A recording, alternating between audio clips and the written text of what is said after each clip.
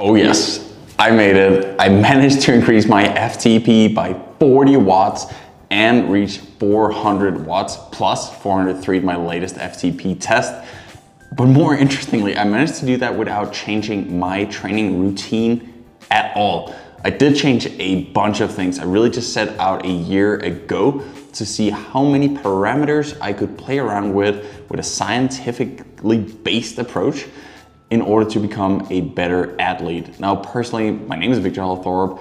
I'm an Olympic, two-time Olympian, speed skater from Denmark, but I also do make a lot of YouTube videos and I also have a bachelor degree as a nutritionist or dietitian. So try to combine all of that knowledge and see what could I do in order to reach a 400 watts plus FTP on the bike in just one year, starting at 364. Now I'm 30 years old. I've been a professional athlete for 12 years, more than a decade. That hurts to say out loud. That also means that I don't just get these gains for free. So it was a pretty wild challenge for me to try and see if I could find those watts through nutrition and all kinds of small improvements in my everyday life.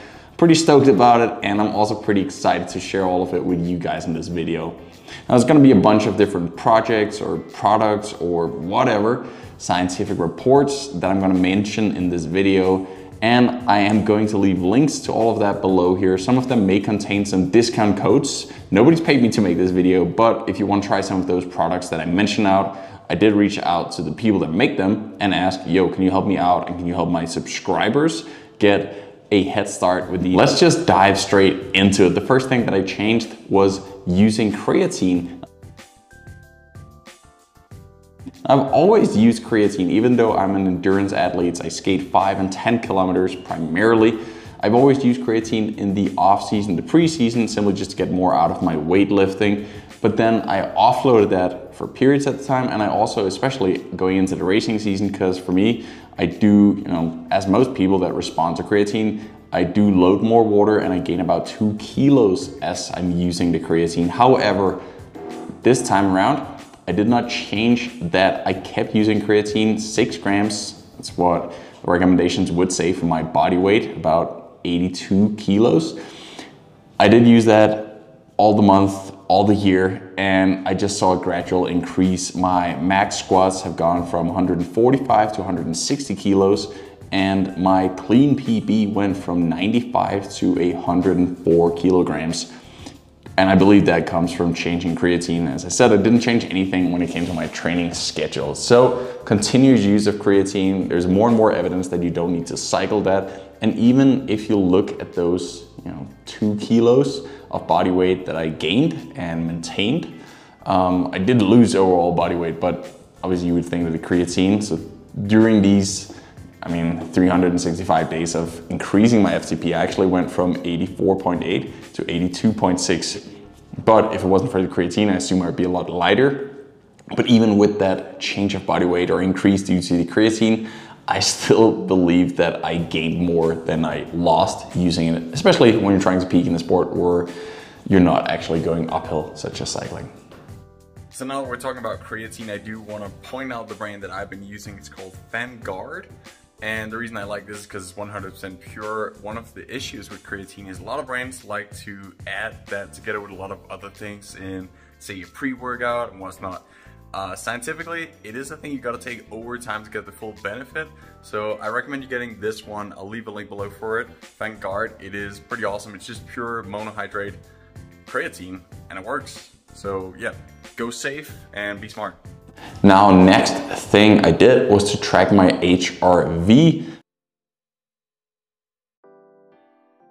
Not just track it, I also changed and adapted my training days to it. Like I started saying I didn't change my training overall, but whenever my HRV, I it with the Ultrahuman ring here, whenever it was lower than 50 HRV or 50, then I would either decrease my training load or skip a workout simply just to avoid being sick or dig myself too deep. So that was the thing I was very, very disciplined about. Together with my coach, we looked at that every single morning for this entire year. I also have been super disciplined with staying in my correct and intended workout zones. So unlike you know being younger and more playful, whenever I was out biking and there was a city sign, we would go for a sprint there. Whenever it was uphill or got too warm, I would get out of my zone two aerobic training zones and go a little deeper, which just created more fatigue and it also prevented me from fully reaching my zone four and five on the harder training days. So this time around, I have just spent a ton of time in the designated zones and nothing outside those. And I do believe that gave me more quality and also better recovery. Now, one supplement that I started taking a year ago that for sure has made a huge impact is Ketone IQ.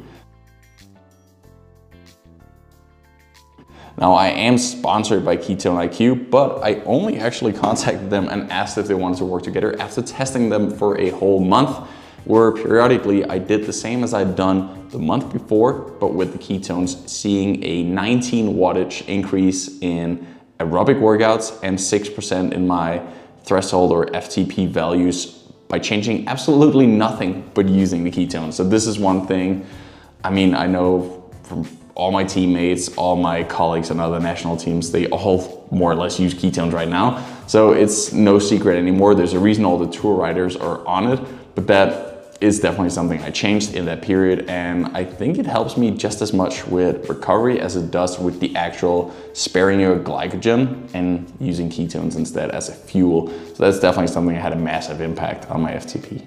Now this little thing you can see on my nose here is one of many things I started using that has managed or allowed me to get more deep sleep and higher sleep quality. You know, I track this guy here, especially for snoring. I now snore 4% of the night, whereas without this, I would snore 34% of the night. So also made my wife a lot happier. But to be honest, or to be a little more serious here, this made a big difference. I increased my deep sleep by more than half an hour in average. And one cool thing, obviously it's not only thanks to the nasal band here, but I did increase my average HRV looking at the previous four months last year by 25, which is unreal when it went from 60 to 85 for an average doing the same workout. So this thing is definitely one that helps you relax more overnight, helps me relax more overnight.